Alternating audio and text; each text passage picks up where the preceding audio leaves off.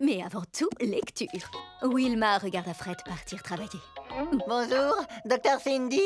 Voilà, je me suis réveillée ce matin avec ce bouton bizarre dans le cou, mais finalement, je commence à bien l'aimer.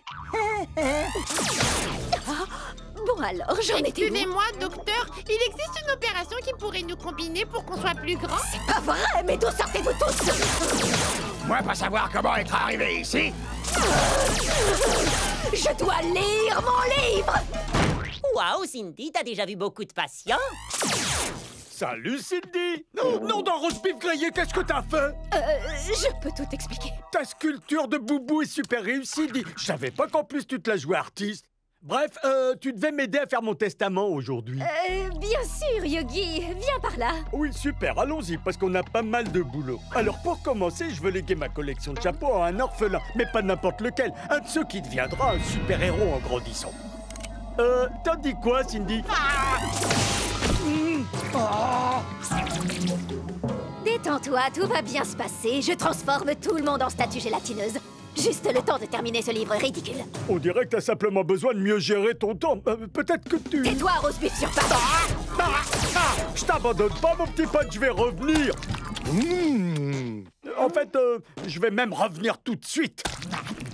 Ah oh, ah, oh, oh, Yogi, reviens oh. Yogi, stop Il faut au moins que j'aille jusqu'au chapitre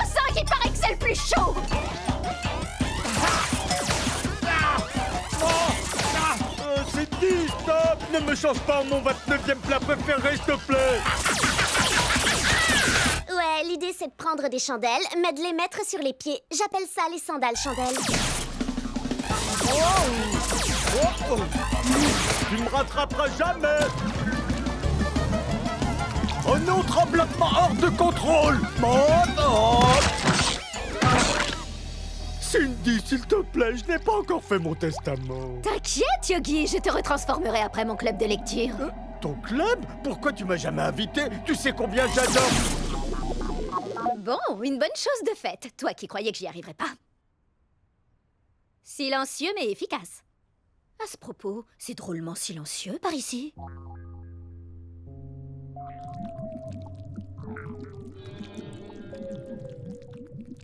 Ah, quand même, oui. Euh, bah, au moins, je peux enfin lire tranquille.